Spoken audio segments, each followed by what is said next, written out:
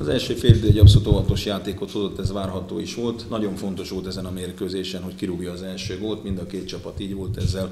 Sajnos mi kaptunk egy erősen elkerülhető gólt, és így a, nekünk kellett lényegesen többet kockáztatnunk.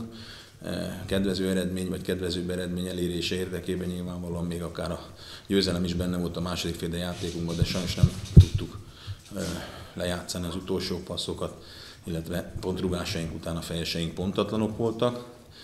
Ettől függetlenül azt kell, hogy mondjam, múlt héten mondtam, a csapat szenvedélyes játékát hiányolva, most azt kell, hogy mondjam, homlok egyenest más volt a második félidő. Erre lehet építkezni, és azt mondtam a srácoknak is a mérkőzés után, hogy ezer százalékig biztos vagyok benne, hogy elérjük a célunkat. Igaz, hogy ez a minimális célkitűzés, de biztos vagyok benne, hogy az MTK jövőre is első osztályú lesz. Most egy nagyon rossz sorozatban vagyunk.